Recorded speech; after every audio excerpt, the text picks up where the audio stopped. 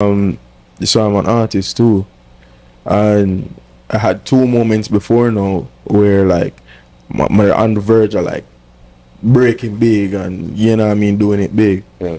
and um, for the very last for, for the last times like or for the last time or the two moments, um, I was working on the album and the album the songs sounded good. I got the sanction from God for like go through the songs and everybody's like hyped up about it and like yeah we'll have money is your moment. rich like you know what I mean Yeah. and God literally just stopped me on my tracks he's like I'm giving you a choice to make right now A fork in the road. fork in the road Yeah. he's like you can choose me Mhm. And you will still be successful Mhm. and you can choose the world Mhm. and you will still be successful